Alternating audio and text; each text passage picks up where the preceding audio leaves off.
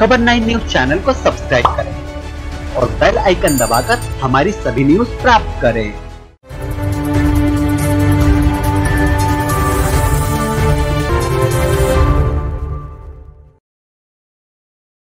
नमस्कार आप देख रहे हैं खबर नाइन और मैं हूँ आपके साथ प्रीति शर्मा। जिला एवं शहर कांग्रेस कमेटी हरदोई द्वारा भाजपा हरदोई सांसद के आवास केंद्र कार्यालय पर कांग्रेस जनों ने प्रदर्शन कर सांसद को ज्ञापन प्रेषित किया। कांग्रेसियों ने किसान अध्यादेश वापस लो। न्यूनतम समर्थन मूल्य की गारंटी कानून बनाए जाने की मांग के फ्लेक्स हाथों में पकड़े थे। जिला अध्यक्ष आशीष कुमार सिंह के नेतृत्व में प्रदर्शन किया गया।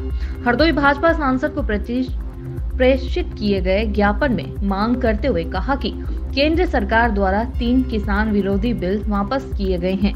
सांसद के अंदर से लेकर सड़क तक कांग्रेस पार्टी लगातार इन किसान विरोधी कानून के खिलाफ आंदोलनरत राहुल गांधी के नेतृत्व में पार्टी के किसान सम्मेलन, हस्ताक्षर अभियान और ट्रैक्टर व बैलगाड़ी रैलियों के माध्यम से जन विरोधी इस कानून का विरोध किया गया।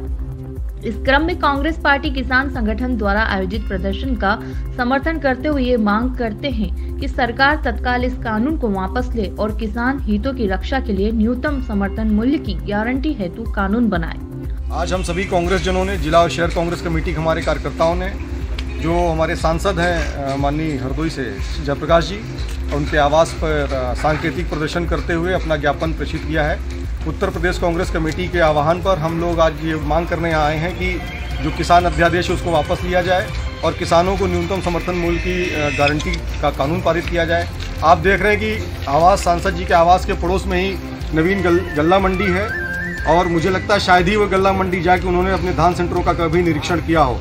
यदि वो इतनी जहमत उठा लेते तो शायद आज किसानों की इसी गल्ला मंडी के अंदर अठारह सौ अड़सठ हो जाए नौ सौ रुपये अपना धान नहीं बेचना पड़ता। तो हम उन्हें जगाने आए हैं। कम से कम पड़ोसी गल्ला मंडी में जो सेंटर उन पर तो किसानों को न्यूनतम समर्थन मूल्य हासिल ही करा दें।